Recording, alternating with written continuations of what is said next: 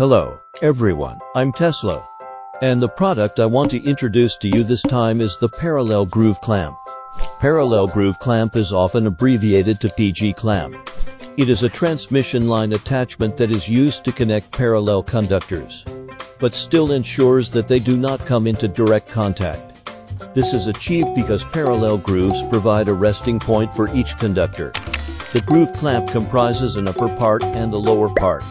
They are pulled together to apply a clamping force on a power cord or telecommunications cable. Parallel groove clamp has the following characteristics. First, the edge has a pressure pad to withstand excessive clamping force. Second, provide perfect electrical contact while minimizing corrosion. Third, the pressure is distributed on the fixture. Last with high strength, the connection can be completed during installation. Please subscribe to my channel. Thank you.